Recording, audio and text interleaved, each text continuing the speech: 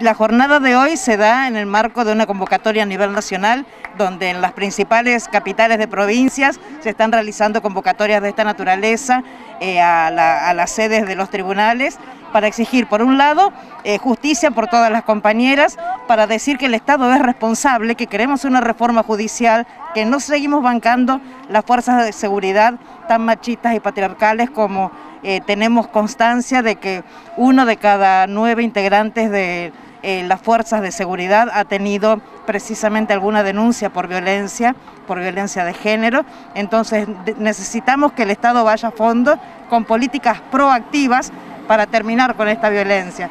Del mismo modo que para la justicia, que no puede ser que los jueces eh, que tienen una larga tradición y una cultura altamente misógena y patriarcal y también, este, eh, también transfóbica, este, Em, y, que, homofóbica y que sin embargo eh, se han resistido y a través de medidas eh, cautelares amañadas han logrado quedar exceptuados de la capacitación obligatoria que establece la ley Micaela para todos los funcionarios de la Administración Pública Nacional y los estados provinciales.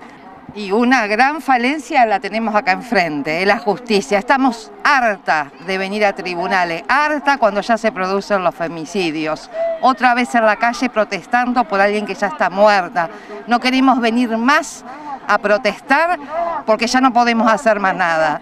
La justicia sigue siendo patriarcal y una justicia patriarcal no es justicia. Por lo tanto, exigimos a la justicia primero que incluya la perspectiva de género y diversidad para que sea más justa y que, que empiece a entender la gravedad del problema de la violencia contra las mujeres.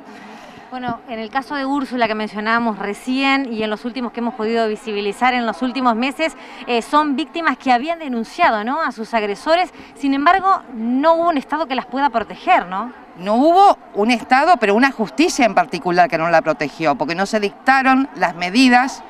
Por empezar, eh, esa persona debería haber estado presa. Eh, asistimos nuevamente casi un caso similar al de Micaela García, por la cual está la ley alguien que tendría que estar preso por haber sido, abusó a un adolescente, estaba en libertad, tenía 20 denuncias y seguía en libertad.